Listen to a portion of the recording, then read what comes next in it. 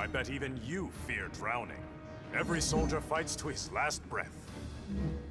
Then you choose to die here. Begin.